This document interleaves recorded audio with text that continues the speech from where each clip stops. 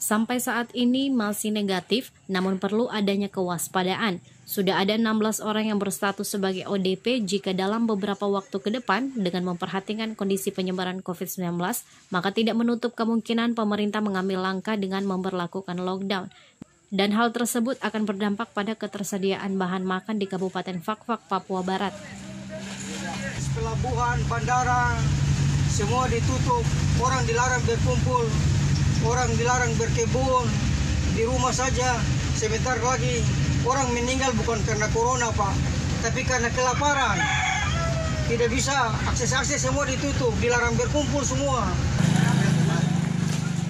Pihak pelabuhan dalam hal ini PT Pelindo 6 cabang Fakfak telah memantau arus masuk kapal kargo di pelabuhan Fakfak, di mana sampai dengan kapal terakhir pada pekan lalu ketersediaan bahan makan yang masuk melalui pelabuhan Fakfak masih cukup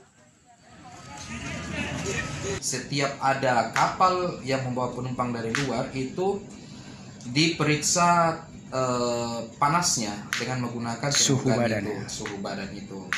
Alhamdulillah di sini kerjasama kita dengan KKP, dinas kesehatan, eh, Pemda, polisi dengan tentara ya sampai saat ini berjalan dengan lancar. Sesuai hasil pengecekan pasar dari bagian perekonomian, stok bahan makan di Kabupaten Fakfak, Papua Barat masih tersedia. Kita izinkan karena dia harus mensuplai bahan makanan. Ini berlaku untuk penumpang, penumpang ya? manusia. Kalau barang tidak ada masalah, kargo silakan. Nanti mereka orang-orangnya kita isolasi di daerah sekitar pelabuhan. Ya Bapak mungkin dari Dolok sendiri yang Bapak informasi dapat ya, laporan mungkin apa persiapan kita? Bapak? Kalau persiapan eh, pasek dan tapi saya kira sudah cukup kok. Kemarin dilaporkan mungkin gula saja yang sedikit ini.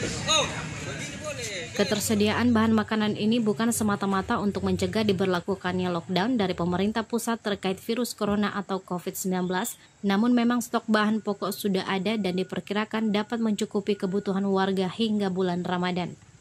Dari Papua Barat, Kabupaten Fakfak, Rahman Ainius melaporkan.